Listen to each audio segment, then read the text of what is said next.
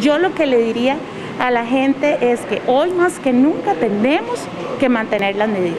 Este fue el mensaje que envió a todos los habitantes de la región Brunca la directora general de Salud Priscila Herrera en su visita de este viernes a Pérez Celedón.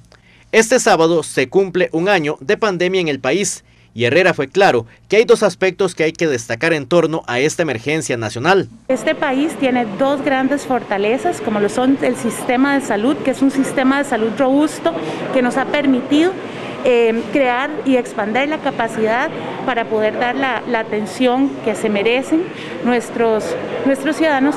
Y por otro lado, el Sistema Nacional de Gestión de Riesgo, que es un sistema que tiene años, que se han venido preparando para eh, eventos o emergencias y que hemos generado una excelente articulación la baja de casos y el aumento de recuperados en la región es un aspecto que tiene que seguir ligado al cumplimiento de protocolos. En un proceso de vacunación que es medular para lograr esa inmunidad de rebaño y no podemos bajar la guardia. ¿Verdad?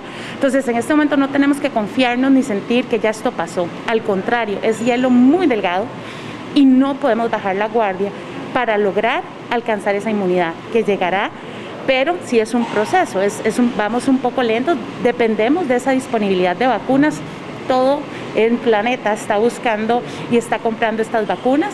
Costa Rica em, inició, recibimos en diciembre y hemos ido aumentando esa capacidad de aplicación. Pérez Celedón registra 76 personas fallecidas por COVID-19.